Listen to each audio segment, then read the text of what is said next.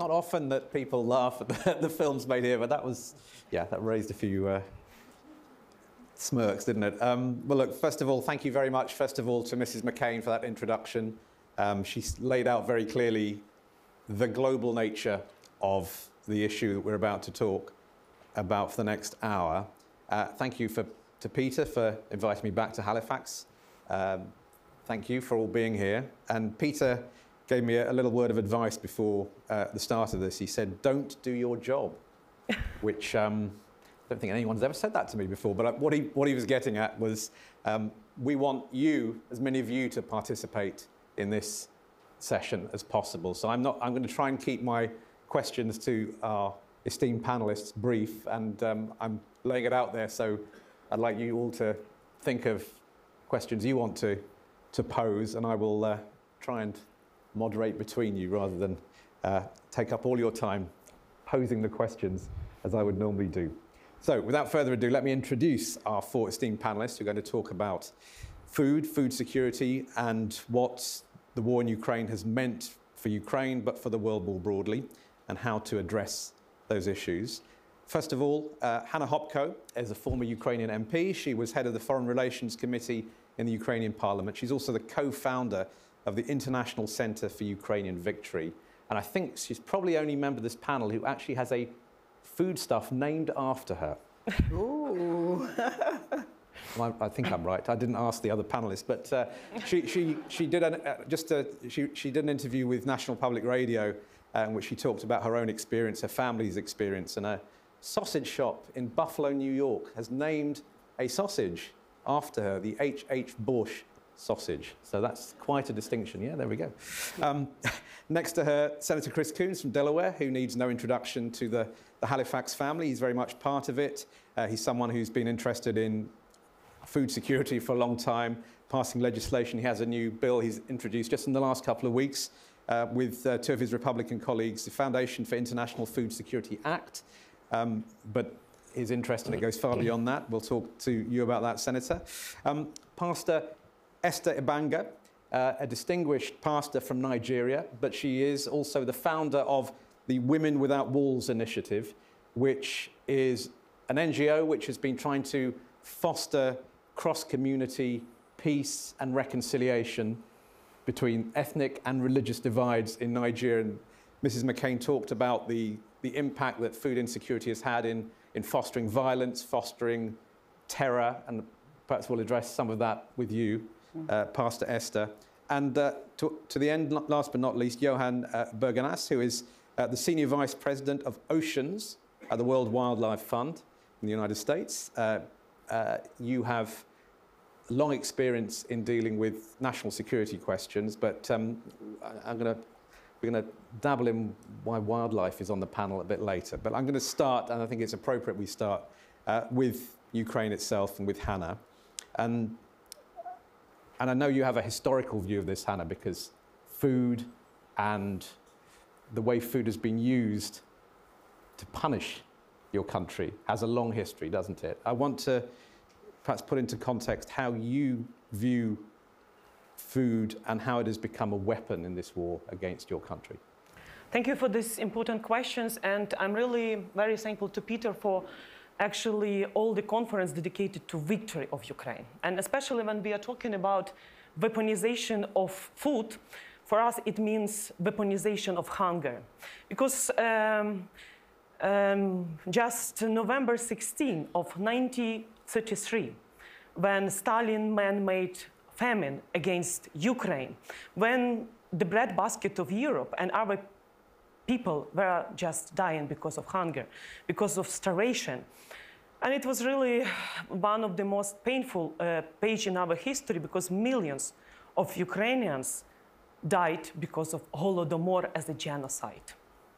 And why I mentioned uh, November 16, 1933, because at that time, unfortunately, the US, instead of punishing Soviet Union, they uh, recognized diplomatically Soviet Union. So actually the price we paid for not recognition Holodomor as a genocide at that time for future generations, Ukrainians uh, were unfortunately killed and actually we lost this chance to build strong nation and actually the league of nations at that time was also kept silent instead of acting and only 90 years after because next week in ukraine is a week of commemoration of 90th anniversary of holodomor as a genocide and i'm really very thankful to james bezan who is here sitting with us who is a canadian legislator who in 2008 submitted a legislation and Canada recognized Holodomor as a genocide.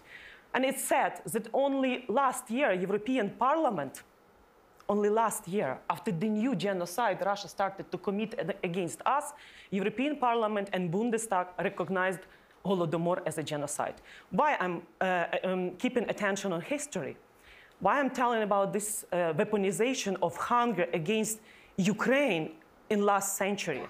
because uh, there are some lin linkages between Holodomor as a genocide, then Holocaust from Stalin to Hitler, and then also I think um, this unpunished evil now is committing another genocide because there is no difference between Soviet, between Soviet Union and current Russian Federation totalitarian regime because they are using uh, food they're using hunger because at that time, during Holodomor genocide, this was deliberately against Ukraine. This was an act of destroying Ukrainian nation. Now, weaponization of hunger means millions of people suffering in Africa, Asia, and why it's happening?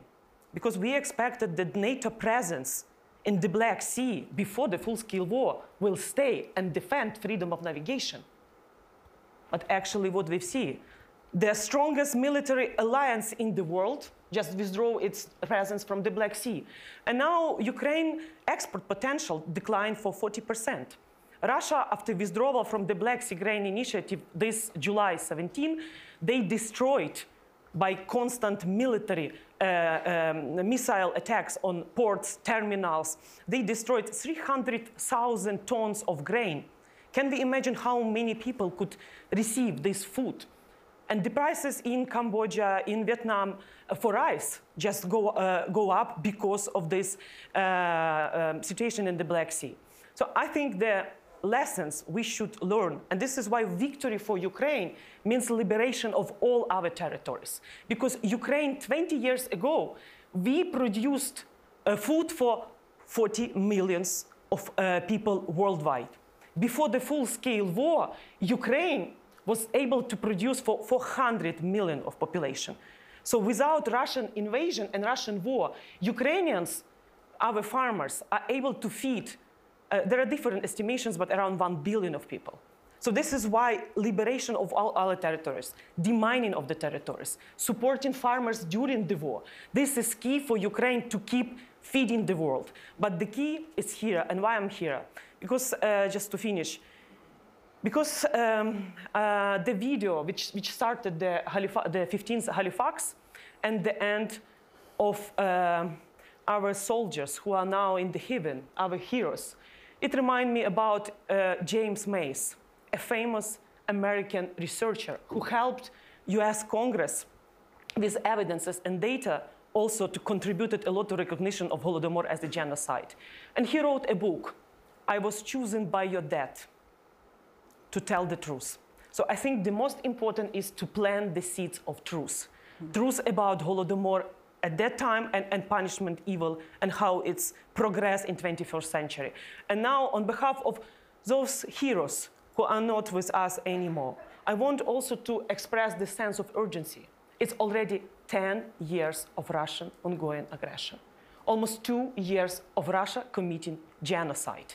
And uh, Mr. Uh, the father of uh, genocide classification according to the UN 1948 convention, so all what Russia is doing in Ukraine, ecocide, war crimes, crimes against humanity, it's uh, also uh, forceful uh, displacement of Ukrainian kids. It's all is genocide. And I do believe the world will not need another 90 years, like with Holodomor genocide, to recognize and to punish. So this is why we demand tribunal, we demand punishment through confiscation of Russian assets, and of course, reparation in the future. Otherwise, this evil will prevail in next generations, in other places, in other continents.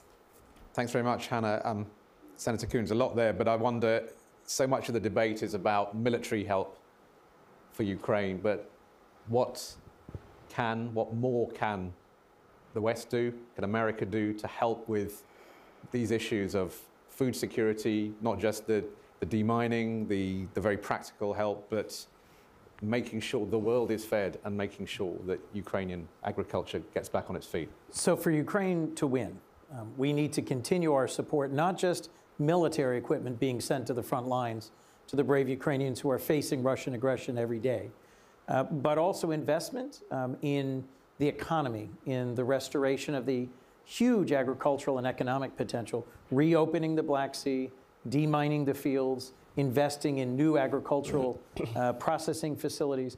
This will have enormous consequences for Ukraine's ability to win and for dozens of countries around the world to have access uh, to sustainable, healthy, and affordable food. As we heard from Director McCain from Cindy in her opening remarks, we're on the verge of uh, one of the biggest global hunger events in modern history. The tragedy of the genocide of the Holodomor is recognized in a memorial on Capitol Hill in Washington, should be recognized in the hearts and histories of every nation and every person here. That we are allowing this to continue again should be unspeakable. And the consequences, not just for the people of Ukraine, but for the dozens of countries fed through the abundance of Ukraine, makes this more urgent than ever. I chair the subcommittee that delivers funding from the United States for humanitarian relief around the world. We are in the middle of a real struggle in Congress over delivering on our president's request for humanitarian assistance. And it's my hope that colleagues of mine, both here and back in Washington, will hear this urgent uh, need for us to continue to lead the global alliance of 50 nations uh, that President Biden and many other leaders around the world have pulled together in response to Ukraine's urgent need and invest not just in military equipment, uh, but in revitalizing the Ukrainian economy. That's what victory will truly mean, is when Ukraine is fully back to its potential and feeding the world. And, and a follow up just on something that Hanna referred to. She referred to the Black Sea Grain Initiative, which is probably the only deal that's been done with Russia during this war mm. of any consequence. It lasted for a year. It helped feed many countries. The World Food Programme took advantage of it, and a number of African countries were ones that benefited from the grain that was shipped to those countries. But it ended, Russia pulled out of it. I mean, what lessons would you take from that whole experience? Don't trust the Russians to keep their word for anything. Um, frankly, what's happened is the Ukrainians continue to show remarkable uh, tactical innovation, and despite lacking a relevant navy, uh, delivered naval drones and attacked uh, the Black Sea Fleet, which is now withdrawn to the far side of Crimea. Uh, and so there are some exports now resuming. Uh, but frankly, what I would take from that is that um, Russia continues to be aggressive in every possible way without regard for the consequences, not just to the people of Ukraine, but the world, and that we need to sustain our support for Ukraine um, and for their innovation and for the solutions that they're delivering to a hungry world. Thanks very much. Well, that brings us to, to you, Esther. Mm-hmm. How in Nigeria are you seeing the effects of the war in Ukraine and specifically the limited exports of grain from Ukraine? What, what, what impact is that having? What are you seeing?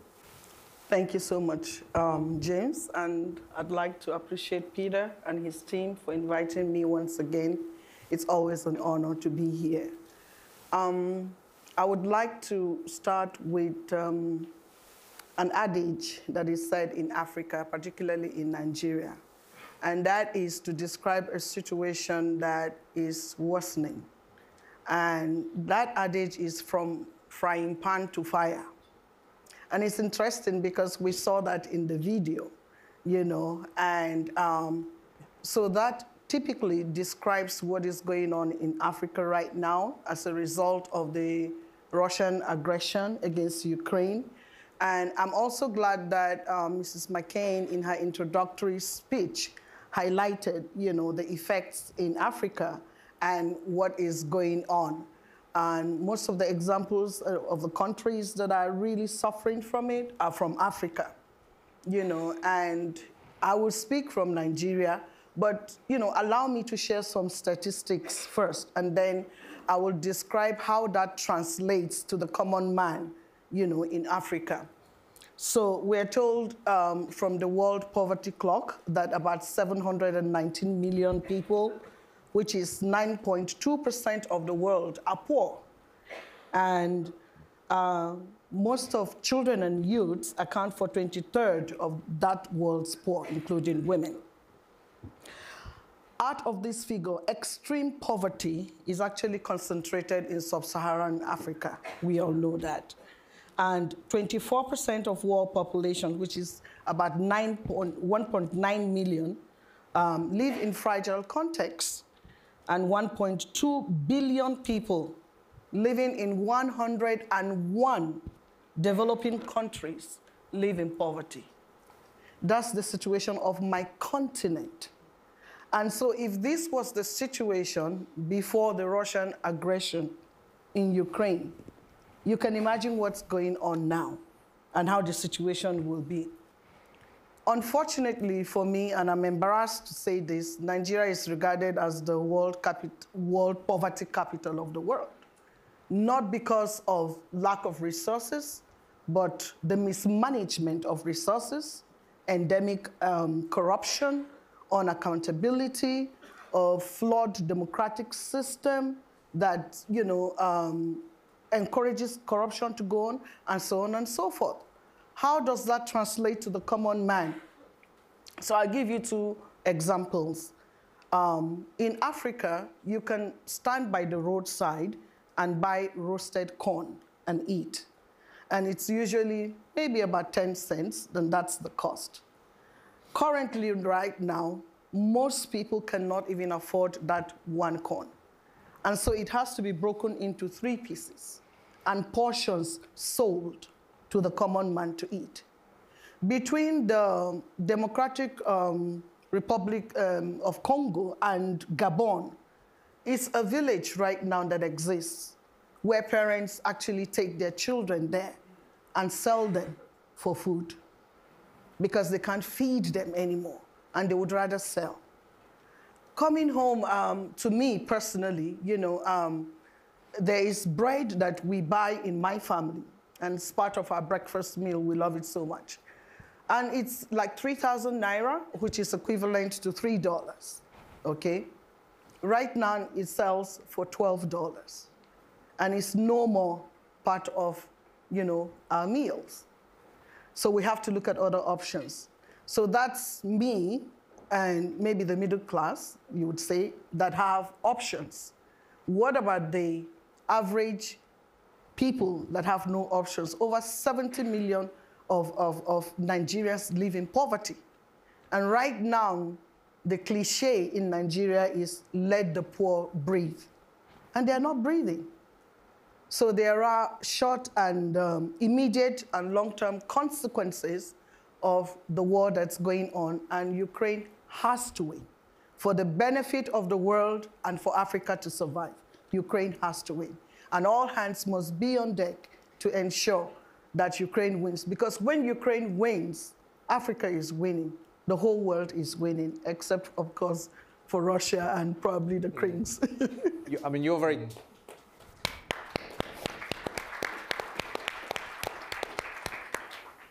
You're very clear on that, but many African leaders are not, are not taking sides. Mm-hmm. Public opinion seems to, polls seem to suggest that actually a majority of people in African countries do see with moral clarity who is responsible, but actually are reluctant for their governments to take sides. What, why is that? What, what are the consequences?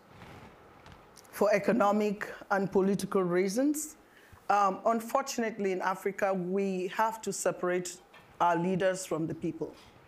Because um, the leaders most, in most African countries are only interested in themselves, in keeping their political offices and you know, growing big at the cost of um, the lives of the people, the quality of the lives of the people, you know. So um, they know what is wrong and they know who is wrong. But of course, they have to keep the um, importation lines open for imports to keep on, for grains and wheat to keep on coming in from Russia. Because as it is right now, Russia has already said um, they're only exporting to, quote, friendly countries. So if they think that um, an African country is not friendly, they're definitely going to shut that um, exportation route, and which will, of, of course, compound the situation that is also on ground. And again, the, the, I'm sorry to say, but the Nigerian um, African leaders um, are yet to carry the burden for their people. Mm. Mm. Well, maybe we'll come back to that with Senator Coons, but let's turn to you, Johan, and the World Wildlife Fund. And I know quite a few people have asked you this question, so I'm going to ask you it as well. Why is the World Wildlife Fund at a security and defense conference? What's your role here? Thank you. Yeah, it's a fair question. Uh, I think the previous speakers did a great job, Director McCain and others. Um, conservation and natural resource management is absolutely fundamental to good approaches to food security and to getting to the left of conflict. So I think that's the first piece. The second piece is that there's an issue that troubles me tremendously and has done for many, many years, and Senator Coons as well, and that is this notion that even democracies fight over food. And there's one commodity that matters a lot to us in the oceans community, and that is fish. And I bet that a lot of people in this room does not know that 25% of all conflicts during the Cold War between democracies was over fish. So that's a remarkable data point that we need to be careful about. After the Cold War, you add Russia and China to conflictual engagements about this invaluable commodity, uh, and the risk are increases. And so um, we have tremendous environmentalists, scientists at WWF who took a stab at understanding this and getting to the left of this problem over the last few years uh, by combining climate science, ocean science, and conflict science. Uh, and we are very excited to have released today uh, a new uh, platform, Oceans Futures, that gives audiences in this room around the world the potential to understand global hotspots for fish wars 5, 10, 15 years out so we can start having predictive and preventive conversations. And I was really glad to hear uh, General Flynn and others talking about the nature of using the military for preventive action, stamping out ambers that are brewing in this world that is going to lead to food insecurity, that is going to lead to conflict. Um, and so I think that's where WWF has a tremendous role to play, but we need help from members of this community. And I think that's why Peter and others suggested that I join this, this panel today. Thanks very much. I just want to follow up with Senator Coons really on what uh, Esther was saying about the public in African countries seeing what's happening and seeing that Russia has invaded Ukraine, but at the same time depending on Russia. I mean, mm. How do you deal with that? A couple of concerns. One is that Russia and China um, have invested heavily in disinformation. Uh, Wagner is a significant presence now in the Sahel in several countries. Uh, I would argue a malign presence. Um, but Russian disinformation has spread broadly on the continent the message that if your food prices have gone up, if your fertilizer prices have gone up, it's because of Western sanctions against Russia, not because of Russia's aggression. So the core problem is the United States and its European partners are making your life harder. We need to do a better job at pushing back on that. We also, frankly, need to change the end result. Um, when Ukraine wins, food prices will come back down. Uh, but there's also, to be blunt, um, a tension where Africans look at millions of Ukrainian refugees being welcomed with open arms across Europe, being given housing and education and healthcare, and they say there's millions of African refugees yeah. who are left to sit in tents out in the desert for decades and aren't welcomed with open arms. So there is a racial uh, distinction made between different types of conflict and refugees that I've heard repeatedly mm-hmm. from friends on the continent who say you're not treating justly the refugees on the continent. In August, I went to the Kakuma refugee camp in northwestern Kenya. It's been there 25 years. Uh, it was started by the so called Lost Boys of Sudan. Today, there's a whole new flood of Sudanese refugees, and very few people ever get out of that camp. Um, the World Food Program, because of the increase in the cost of food and fuel, and the falling off of support has had to cut back support. And to sit in that camp with a circle of mothers who were being told that their rations were cut from 100% to 80% to 60%, and then to see in concrete terms what that means every week they and their children will get in this camp in the middle of the desert for a quarter million refugees was truly heartrending. In partnership with African countries, we can invest in food security innovation, in modernizing and changing food systems across the continent, across the world. That's part of the point of the legislation you mentioned in your introduction that Senator Graham and I have just introduced is not to supplant but to complement the work of the World Food Program uh, and the US government's initiative Feed the Future to bring private sector innovation and investment in to partner with public sector resources to try and transform food systems so that hunger is a thing of the past. Hanna, someone who, who's out there advocating for Ukraine, when you hear that story from Africa that people understand Russia is responsible, but they depend on Russia, how do you counter that, or what, for your narrative, what does that mean? Just recently, we invited to uh, Ukraine 35 uh, representatives of uh, countries from Latin America, Africa, Asia, to Global South uh, Crimean Platform uh, Forum. So I think it, this was a good opportunity in Kiev during also visit to Bucha to discuss about sustainable peace, and we, and we produced this manifesto, Sustainable Peace Manifesto, with uh, responsibility for aggression for Russia, punishment, and also uh, other steps what needs to be done. And we, because it's about uh, decolonization of Russian history, it's about de-imperialization of Russia, the issues which are uh, very familiar. And talking to African representatives in Kiev about weaponization of energy, weaponization of food, uh, colonization and how to fight with this. So I think Ukraine in the future will become the best country uh, in the world for bridging the communication with uh, representatives of uh, so-called uh, global south, but countries from Latin America, Africa. Because compared to other European countries, they also have some, uh, how to say, uh, difficult pages in their history. Ukraine, with our fight for decolonization with Russia, it's centuries. why it's really important to win this time because uh, I don't even can imagine. Because um, when my colleague mentioned your story, how now people are sharing bread and trying to survive, so I was honestly about to cry because for us in Ukraine, it's reminded Holodomor when there was the facts of cannibalism, when it's well-known facts, when um, um, there are many historical um, stories saying like um, mommy told us to eat her when she died. So it was normal at that time when Ukrainians, uh, to survive, they had, can you imagine? Mommy told us to eat her when she died. And it happened in the breast basket of Europe, country which, with the role to uh, feed the world, was uh, starved and actually uh, millions of Ukrainians, we don't know exact number, six, eight, ten millions of Ukrainians who died just because lack of food. So this is why hearing this, for me, I don't really understand why uh, we are not seeing more ATACMS. Why uh, Germany is not providing us more long-range uh, missiles. I don't, we are talking about the uh, Black Sea Grain Initiative. But it's only partial solution. It's, it's not, not even solution.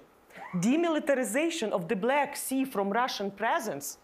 Why? Uh, the Black Sea is the uh, lake of Russian monopoly. I don't understand when we have NATO member states like uh, uh Romania, uh, uh, Bulgaria, Turkey, and others. So I don't understand why countries with two-thirds of world economy uh, also NATO, three countries with nuclear power, they are not behaving in the way that Russia will not just respect, but will withdraw all their troops from Russia, from Ukrainian territory.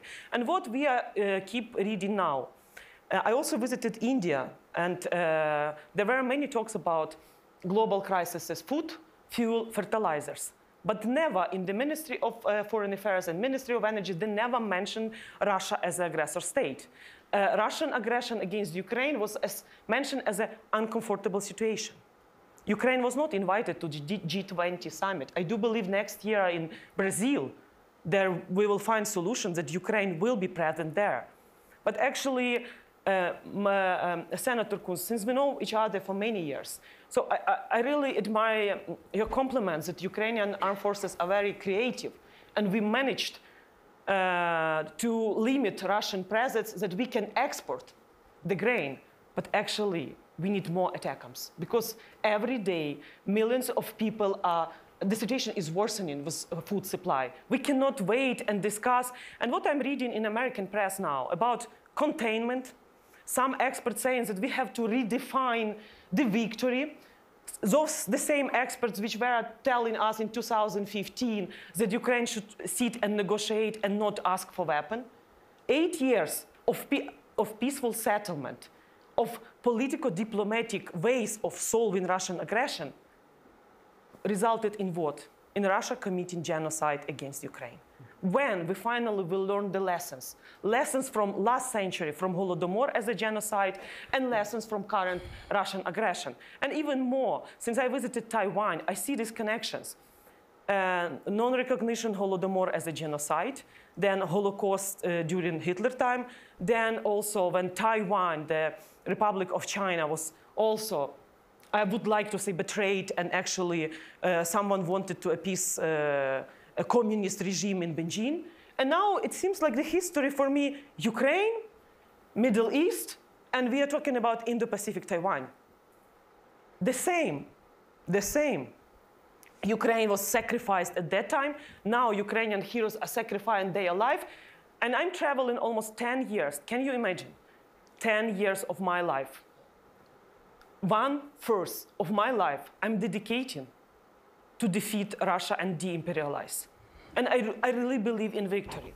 Otherwise, I cannot explain my daughter because before the full-scale war, when I was in the assassination list, and my daughter was forced to leave Ukraine, I was staying with my husband in our guinea pig in Kiev. So actually, my daughter asked me a question at the border, Ukraine-Polish border, Mom, you were so proud that you know all Western leaders. You show me pictures with uh, Vice President Biden, with Prime Minister Trudeau, with Chancellor Merkel. And after eight years, why? All these Western leaders didn't help Ukraine to win, and now I have to leave Ukraine. And honestly, I was crying at that time because at that time I was talking to my daughter and didn't know that if I survive, because Russia was attacking, and my decision was to stay and defend my country in Kiev. And at that time, it was like farewell conversations that you never will talk with your daughter again. So this is why my question, and after now ten, two years, I traveled already to 20 countries. For some countries like United States, five times, to Brussels, to Taiwan, to South Korea.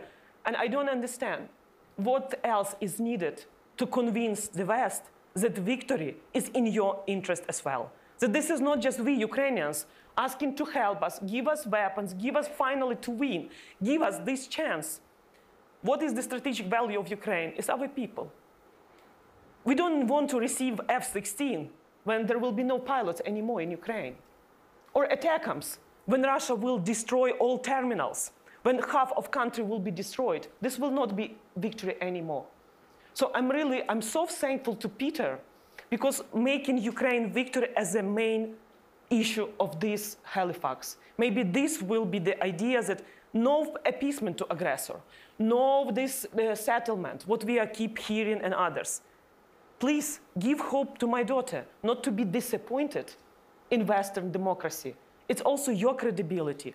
Your reliability is at stake.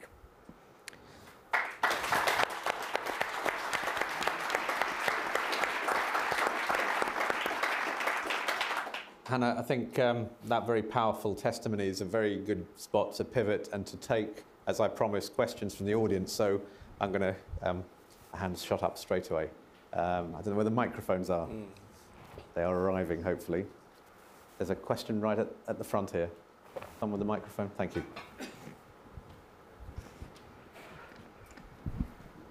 Thank you. Paula Dobriansky, Harvard University. First, I want to echo and underscore, Hanna, your words.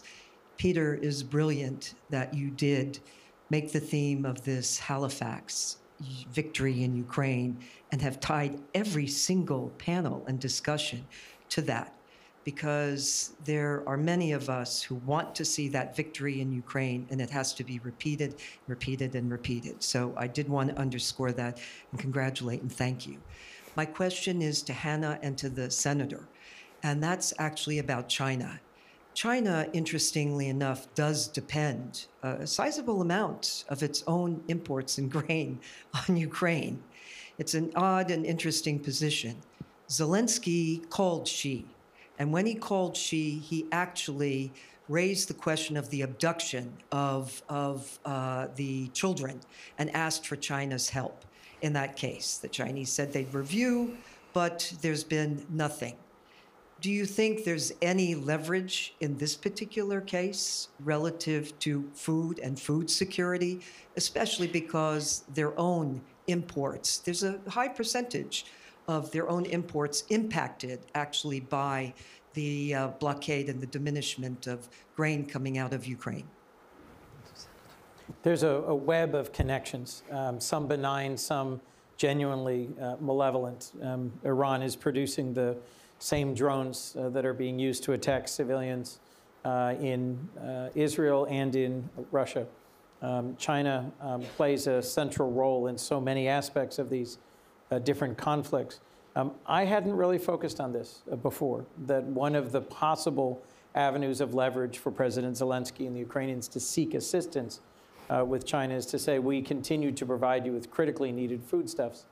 Um, keeping China from providing weapons to Russia has been one of our most important uh, sort of geostrategic priorities, something that we've used a whole range of countries uh, to over and over give the message to China, stay out of this war.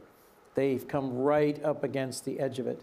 Uh, and my hope is that Zelensky's plea can produce both um, help uh, with pulling back uh, China from engaging in the war. Frankly, the brutality, the, the cruelty uh, of abducting thousands of Ukrainian children is just one of many ways uh, in which Putin has shown his intention to try and erase Ukrainian identity. Uh, what our vice president uh, at the Munich Security Conference last year called out clearly on the world stage as a genocide. So, um, do I think that particular appeal will be the one that will make uh, Putin stop uh, this aggression? I, I don't, frankly.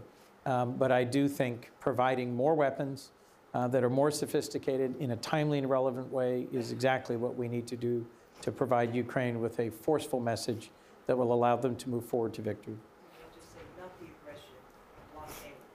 Yes, sure. Thanks very much. Do you want to? So, uh, for me personally, um, China is part of Russian aggression against Ukraine. China supporting Russia, feeding not just with humanitarian aid, maybe some experts prefer to say that this is only humanitarian aid, or technologies and together with Iran. And I think this is really uh, important. Krink's uh, session was really about authoritarian mafia-style club, which are supporting each other. And uh, I do believe with victory of Ukraine, we will not see Chinese investment. Because I think uh, China uh, is an enemy for uh, democracy and not just as a communist regime in last century and what they are doing now with Uyghurs. And I think Ukraine, which we are fighting for our rights, we should also not to tolerate the repressions what are happening in China, and it's really important uh, to mention this. The same like what's happening in persecution of indigenous people inside Russia, the same. So I think Ukraine role in 21st century not just as a breadbasket of the world. We have to become, how to say in English, a spiritual basket when dignity, freedom for everyone, this is the value of Ukraine victory. This is not just about restoring territorial integrity, returning back Crimea.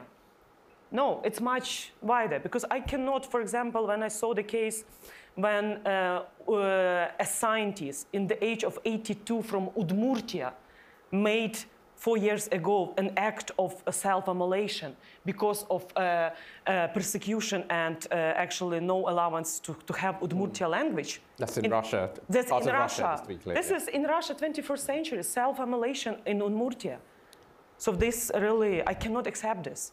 So this is why Ukraine's mission in 21st century is much wider, much bigger, Mm. and we cannot just simply watch what's happening in China and uh, to keep silent. Yeah, I'm Jamie, just can want to bring add you in on? China because I think it's been relevant to your work, isn't it, in China and, and fisheries? Yeah, I want to add something to Senator Coons and Hanna's comments, but also acknowledge how difficult it is to speak about anything on this panel, hearing the stories from Hanna.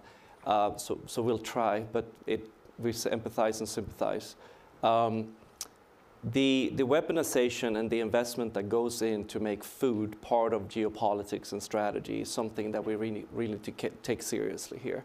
And um, in the domain of China and in the domain of Russia and other countries, we are seeing a concerted efforts of legislatively, with economic subsidies, protection of military and hard and soft security resources around the world, on the world's oceans, to lay claim, dominate, uh, and to access blue foods and terrestrial food for use in very powerful way now and into the future. And we need to understand better this sort of brewing challenges that we're going to face in the Indo-Pacific region that was discussed on the previous panel, in the Arctic, where there is requirement for, for governance in other areas. And if you want to talk about indigenous and local communities, they're going to suffer tremendously unless we get a, to the left of the problem in terms of foreign incursions in that part of the world and resources.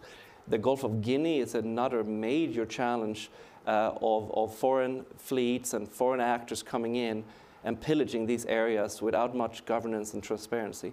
So we're seeing it in, uh, in, in Ukraine today, but we're going to see this type of warfare um, over and over again if we don't put resources to it. And, and Esther, just briefly bring you in about the impact that the starvation that you talked to us, talked to us about is having in terms of security in Nigeria, in terms of fueling terrorism, criminal gangs. What, what kind of impact is that having? So um, again, it's a situation of from pan to fire.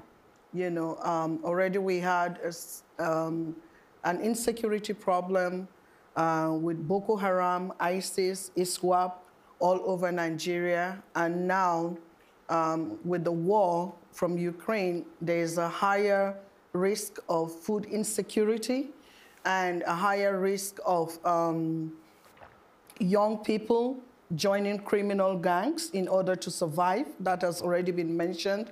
But I also think that um, more attention needs to be um, given to Africa.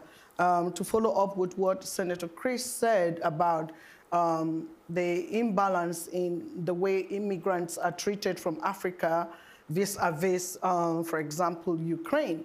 It's also in the same way with the hostage-taking situation that happened um, um, with the Israelis, you know. And here we are in Nigeria. Nine years ago, 276 young girls were kidnapped from school, the Chibok girls. It's nine years ago. There are still 98 of them in captivity. Nobody talks about that anymore. 14 of these girls were rescued from the kidnappers' camp, and they returned with 24 children. And they have parents, you know, they have to stay with their parents. There's stigma now on the children as children of kidnappers or terrorists. And so they're not accepted or assimilated back into the society. And parents are grappling with who is the father of my grandchild? He's a terrorist, you know. So um, I, I think uh, more attention needs to be given to Africa. You know, like there's an outrage on the Israeli kidnap um, hostage taking that just happened. That kind of outrage needs to be expressed with what's also going on in Africa. Otherwise, we're going to lose the, the, the whole governance structure of Africa to non-state actors and see nothing done about that. Thanks, Esther. Um, there's lots of hands going up. So I want to go towards the back. Gentleman at the back.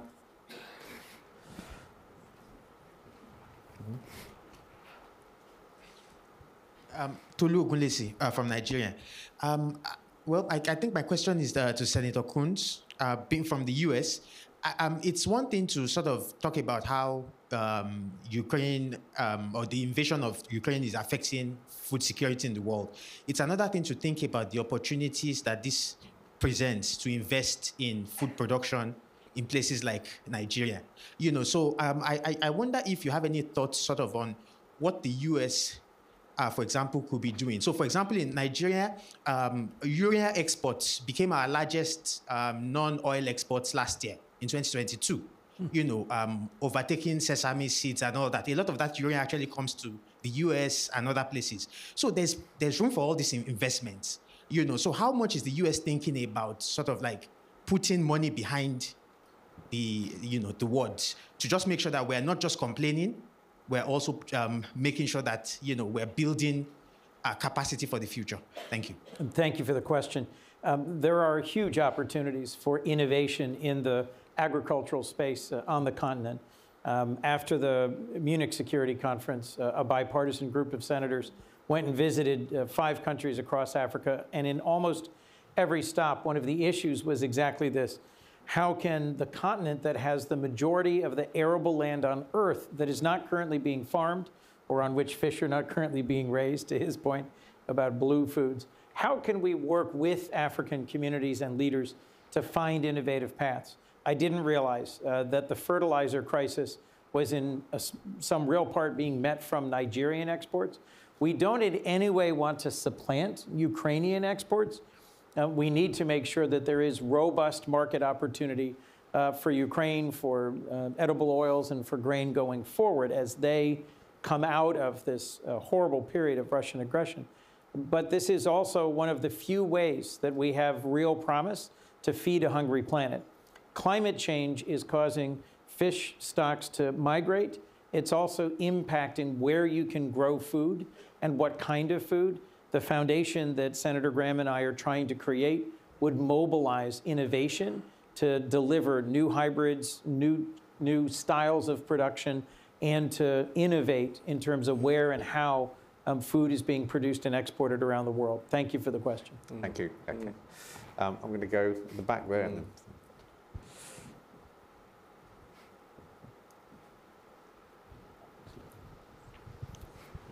Thank you very much. I have a question. I'm Nabe Watanabe from Tokyo, Japan, and I have a question to James. The reason is that the, it's very curious how disinformation campaign was collaborated between Russia and China. The experience of Japan recently, you may know the Japan uh, discharged the water from uh, Fukushima nuclear plant. And the IAEA clearly said that no risk. It's uh, no risk of the water the, with the scientific data. But uh, China banned uh, the import from, of uh, seafood from Japan.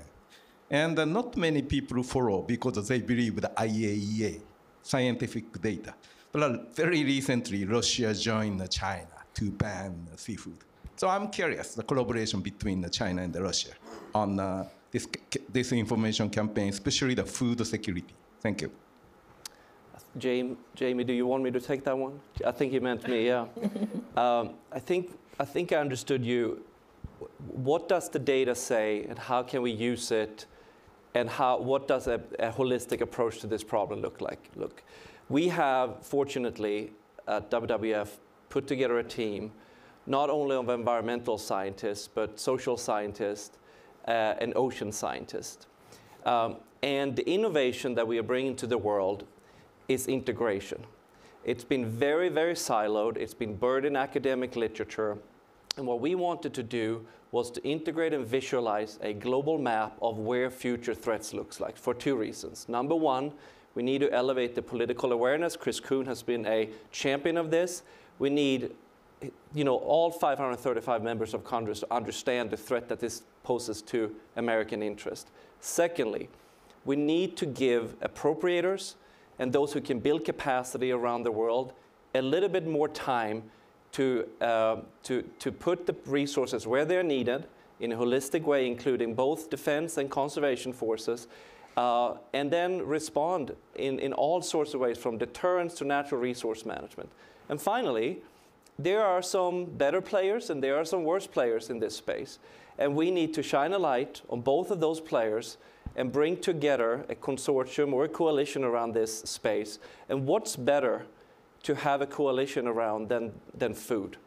Everyone is impacted. It has tremendous human and geopolitical consequences. And so that's where I think we need to bring this conversation. And I think this conversation here today has, has helped that, and I'm thankful. Thank you, Johan. Uh, at the front here.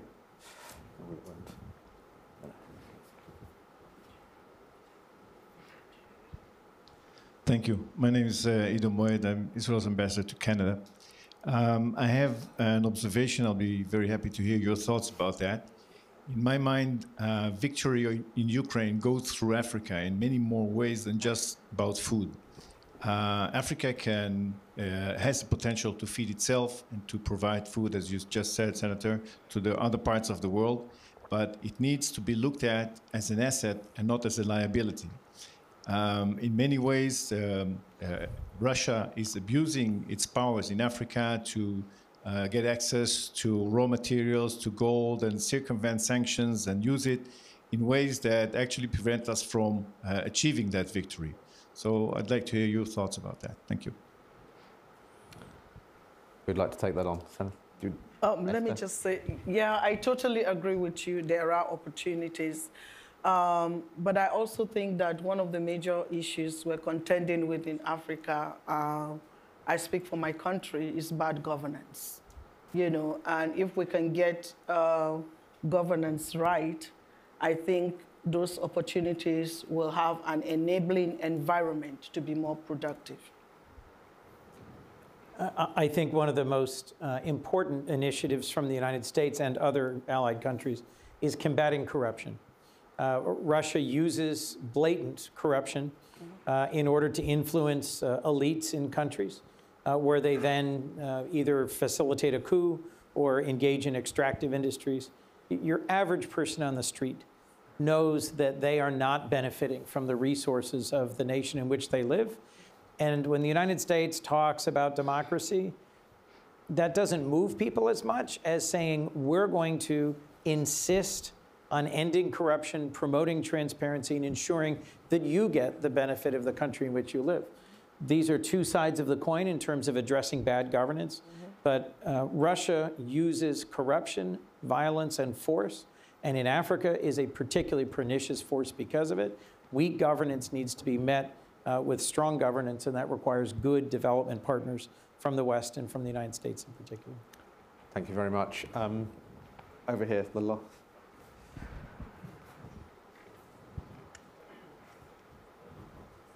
Hi, I'm Koshin Bathmax. I'm one of the. Oh. Sorry. Over there? It was. Sorry. Sorry. Uh, I'm Koshin. I'm one of the 15 at 15 winners. And my question was as, as youth, we grew up hearing about food insecurity. S- since we grew up, it's been every day, everywhere. So, what would you tell us as we move into positions of power in the future? Sorry. Don't know who wants to take that on. What, what will you tell the youth about food security? Maybe Senator Coons, a quick one from you. um, I'd say you're, you're, a young man. You can, I, if I look young, that's a remarkable thing. Only in the U.S. Senate am I considered.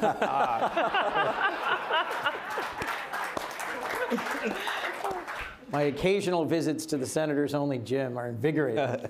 but um, I, I, I, would say stay hungry for change. Um, be insistent on um, not forgetting um, the sense of um, compassion and concern you have uh, for billions of people around the world who go to bed hungry, who don't know where their next meal is coming from, who are on the move or um, suffering because of climate change and conflict. Um, and when young people uh, raise their voices for the importance of addressing climate change, addressing injustice, they're also contributing to addressing food insecurity. So keep at it and keep making great videos. Unfortunately, that is, I'm very sorry, unfortunately we've run out of time, but I'm sure uh, the panelists would be very happy to take your questions personally. But uh, it just leaves me to thank everyone for this uh, fascinating panel, to, to Hanna Hopko, to Senator Chris Coons, to uh, Pastor Esther Ibanga, and to Johan Bergenas. Thank you all very much indeed. Thank you all very much indeed as well.